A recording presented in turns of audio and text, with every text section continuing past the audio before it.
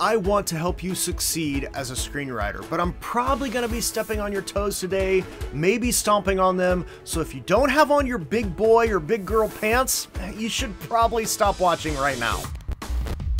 You're still here, that's good, because tip number one impacts your longevity as a screenwriter and whether or not you're gonna find success. Tip number one, approach the craft with vats of humility. Not buckets, not barrels, vats. You're going to need a lot of humility. And to be clear, humility doesn't mean that you are groveling or putting yourself lower than you actually are. Humility means you are accurately viewing your own status and skills and abilities. It means you aren't thinking that you're better than you are. It means you aren't thinking you've got more talent than you actually do. It means you aren't interested in putting others down to make yourself look better. It does mean that you are willing to listen to others, that you're willing to work with others, that you're willing to admit when you're wrong, you're willing to accept your failures and learn from them, you're willing to help others who are behind you on the journey to screenwriting mastery, and you're willing to recognize there are others who are farther along than you. No one, and I mean no one in Hollywood, likes working with someone who acts like they are better than everyone else.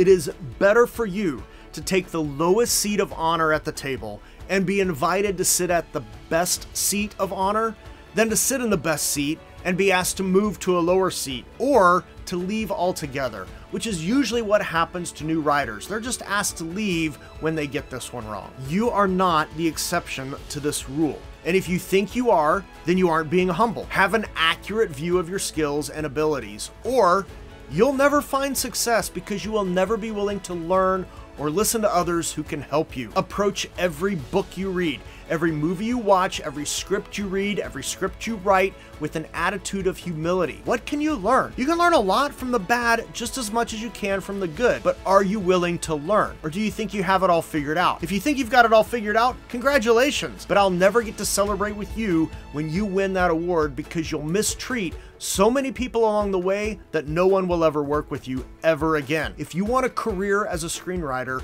humility has to be part of your DNA, not just a coat you put on when you go out to interact with people. You got to learn it, integrate it, and embrace it. Number two, develop good habits. Ask any professional screenwriter what is the one trait they had to master before they became a professional screenwriter, and most, if not all, will tell you self-discipline. The problem is a lot of new writers think all they have to do is just cultivate a spirit of discipline when it comes to writing.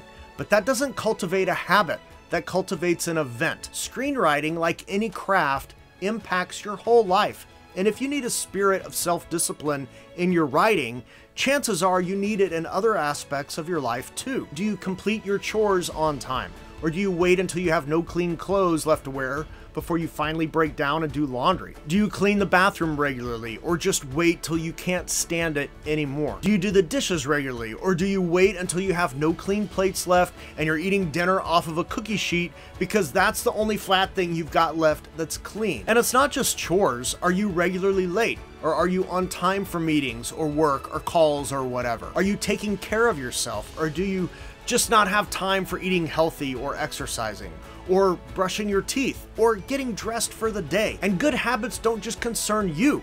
Do you open the door for other people? Do you let others go first? Do you wait your turn or do you bully your way to the front? Are you polite? Do you use your manners and say thank you and please? Or are you rude and inconsiderate? Because all of those are habits you have to cultivate. And if you can begin to cultivate good habits in every part of your life, cultivating habits related to writing will be easy. But if you are careless or reckless or insensitive to others with the rest of your life, you're gonna have trouble being disciplined when it comes to writing because you will not have cultivated the habits and practices associated with being self-disciplined. So stop sabotaging yourself. If you are not living a self-disciplined life, it's time to do so. And even if you don't want to be a professional screenwriter, being self-disciplined will spill into all other things in your life that you want to do. And it's going to make you more successful in whatever you're wanting to do. So spend time developing good habits. You'll have a better chance at finding success as a screenwriter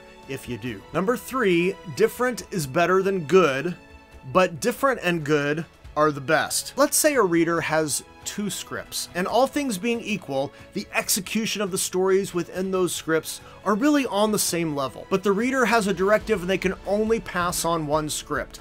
100% of the time, they're going to recommend the story that is different. But if the reader has one script that's different and another that's good, unless the one that's good is just fantastically awesome, guess which one gets passed on? Yep, the one that's different. If the reader has two scripts and they're different and unique in their own right, now the one that is also good that's the one that gets recommended. Don't mishear me, okay? This doesn't mean you just go out and start breaking all the conventions of screenwriting so your script looks different just to stand out. There is a fine line between different and reckless. Okay, a reckless script implies the writer doesn't know what they're doing and the reader doesn't feel they are in the hands of a master storyteller. But a story that's a bit different lets the reader feel like they are in good hands. And because the story feels different than other things that they've been reading, they love this. So no, you don't have permission to go and write whatever you want, thinking it's just gonna be the next best thing since sliced bread. Okay, remember tip number one about being humble. You can't write whatever you want and expect people to spark to it. Because, and this is critically important, Hollywood isn't looking for new stories. They're looking for familiar stories that feel new. So you can't just go so far out in the woods that the reader wonders if they're even still in the woods. The story has to be familiar on some level, but at the same time, it has to be different. And unfortunately, this is one of those things that's kind of like a sixth sense. It gets honed and developed over time, and with practice. So the more you practice coming up with story ideas, the better you'll get at it. But this is the trap because a lot of advice is people telling you, a new writer, a aspiring screenwriter, just go write a script. So you get so focused on writing the one good script, but you haven't come up with a bunch of ideas. You haven't learned to exercise that muscle. So have you come up with 50 good and different ideas? And not I'm not just saying 50 ideas. I'm saying 50 ideas that are good and different, which might mean that you have to come up with a thousand ideas. I mean, do you know how to do that? If not, you won't have any longevity as a screenwriter. Anyone can come up with an idea, but being able to come up with an idea that is both different and good on a regular basis, that's a rare thing. So you have to learn to do that, and you will immediately stand out from the crowd. Number four, don't suck or settle. Yes, you're being humble. Yes, you've cultivated good habits. And yes, you have a good and different idea, but you still have to execute the story. You still have to craft a solid story and then tell it well. It can't suck. And your scenes and dialogue can't feel like you're settling or like you just figured it out in the car on the way home from the grocery store. And here's the ugly truth that most writers wanting to break into the industry never quite grasp. Novices play professionals plan. Every professional writer takes time to plan their story. And don't start going Stephen King or Aaron Sorkin. They've been writing stories for so long and they know stories so inherently and intricately well that they breathe stories and do what they should be doing in the execution without even thinking about it specifically, much like you are breathing without thinking about it. So yeah, once you have their level of success and you've integrated story and storytelling into your being so much that you can breathe it without thinking about it, okay, fine. You won't need to plan as much. But if you aren't there, chances are you're not, uh, you got to plan. Novices play, professionals plan. Some plan a little, some plan a lot but all of them plan. But novices are all like, well, I'll just figure it out as I go. Well, unfortunately, you'll never be able to land a writing assignment, which is where most professional screenwriters earn a living, if you can't plan. The studio or the production company, guess what? They're gonna want notes and treatments and outlines and a pitch and something to show that you've planned and thought out the story. And if you don't know how to do that, you're handicapping yourself. But I hear the immediate retort, but I'm just learning. I don't need to know how to do that stuff yet. Um, why are you not learning how to do something that you are eventually gonna have to know how to do? And it's something, by the way, that makes the writing easier and helps you learn faster?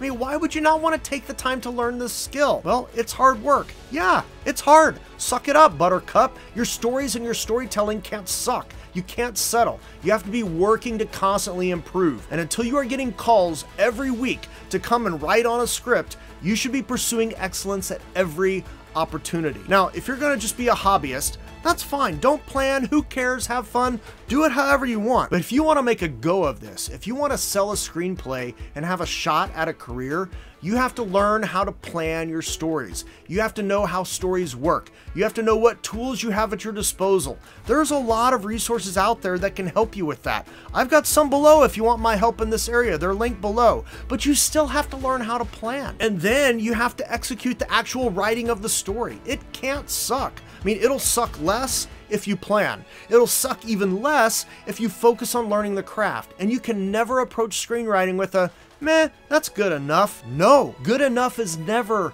good enough in screenwriting. You cannot settle. If you don't know, learn. If you need to get better, practice. There's no medal or residual check for second place. But if you really want to make sure your stories are connecting with others, you have to do this last tip.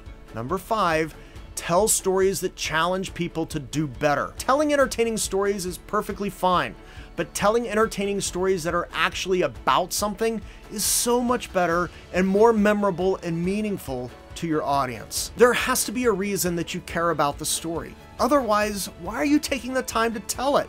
If it's not a story that matters to you, why should it matter to anyone else?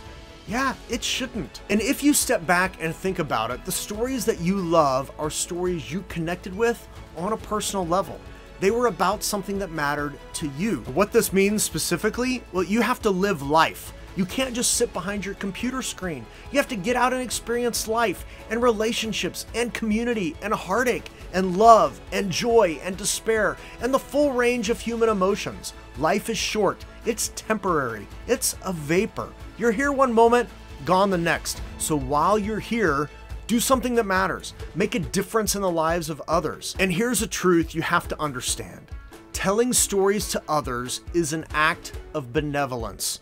We tell stories so others will listen. If nobody's listening, why tell the story in the first place? If you're gonna take the time to tell a story, tell one that challenges people to do better, to aspire to more, to encourage them, to point out injustice or evil in our world, to strive for something more, to not settle. This is what leaves a memorable impression on the people who read your scripts. And make no mistake, you are writing scripts to be read, not shot. So you want to make an impact on the reader.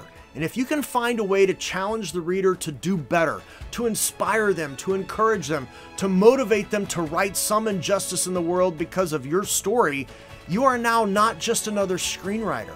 You're a screenwriter who knows how to tell stories that matter. But these five things alone won't get you there. There are skills that you have to master and hone if you want to find success as a screenwriter.